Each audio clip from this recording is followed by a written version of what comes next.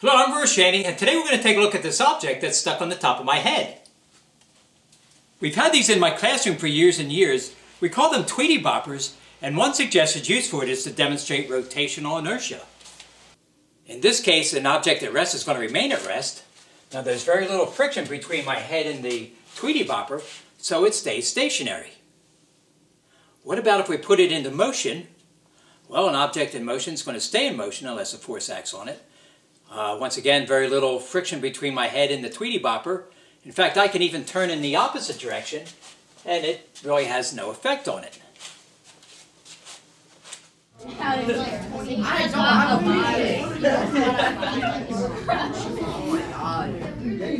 Of course, your results may depend on how much hair you have. Now, when we're looking at rotational inertia, it actually depends on two factors. Uh, for example, we have golf balls a certain distance away from the center of rotation, and it takes a certain amount of effort to turn that. If I were to try this with ping pong balls, this is a lot easier to turn simply because they have less mass. The second factor it depends on is the distance the balls are away from the center. If I move them close, it's much easier to turn. With each twist of my fingers, the golf balls are only moving a very short distance. So with our Tweety Boppers, it should make a difference depending on how much mass we have at the bottom and how far that mass is away from the center of rotation. Now let's take a look at construction. Our wire is going to be from coat hangers, and here's some different sets of materials that we can use for the mass. I'll start by cutting off the top end of the coat hanger. Next I'll straighten it out, find the center, and that's where I'm going to put my first bend. So now as I hold this end firmly in my hand, I'll add the next two bends which are kind of semicircular. With a straight bend at the bottom, I can drill a hole and attach a golf ball to it. That bend could also be used to support a battery as the mass. If you're using wooden blocks, you can make them fancier by adding somebody's face to it. Here's another possibility. Make them look like airplanes. Way I can pretend I'm King Kong.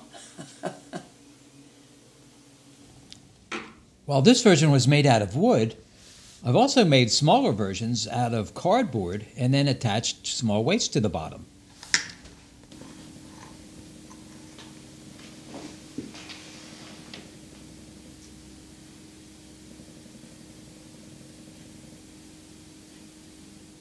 Here's another version made out of cardboard, except this one sits on a wired loop and will rotate as it works its way down.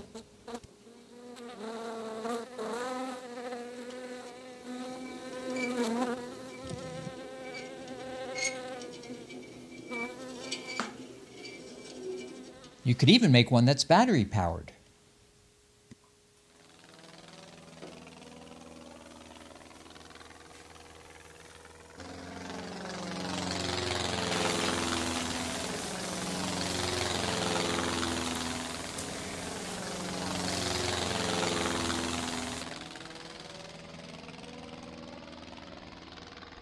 Finally, here's one last idea. These loops work well for the balls of clay. Now before I add mass to it, let's just take a look at the support by itself. I can find the wire's center of gravity by balancing it sideways. Its approximate position would be in the middle of this red piece of tape.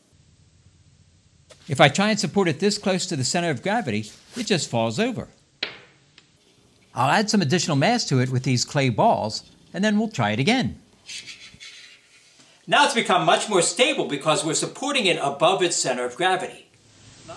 So adding the mass has shifted the center of gravity down to about here, well below where I'm supporting it. This is the idea behind many balancing toys. We can try all sorts of changes by bending the wire. Now the center of gravity is right about here. You can also try some shapes that are asymmetrical. So we can use these as an example of rotational inertia, where they can help explain center of gravity and why things bounce.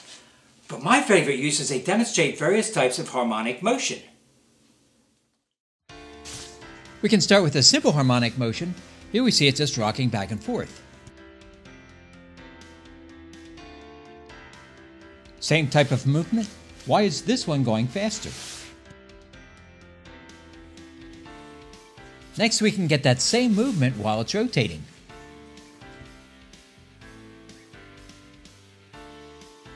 Here's another simple harmonic motion.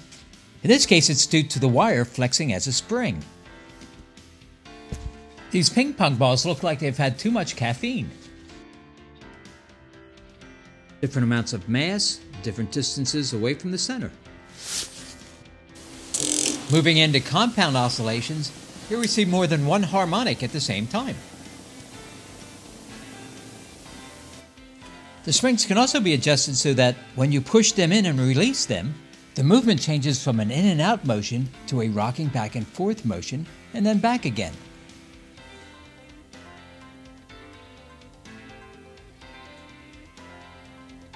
You can see the same type of behavior in coupled pendulums.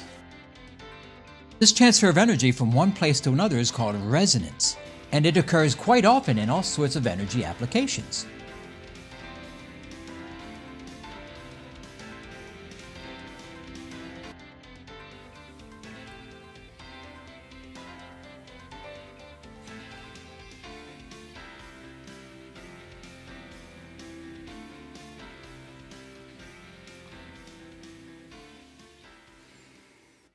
Now, as long as we don't overload the spring with too much energy, its pattern of movements are very predictable. If more energy is added, it can become quite chaotic. Well, as you can see, it's very simple, but it has some fascinating movements to it. If you're a classroom teacher, make some of these and I can guarantee students will want to investigate it.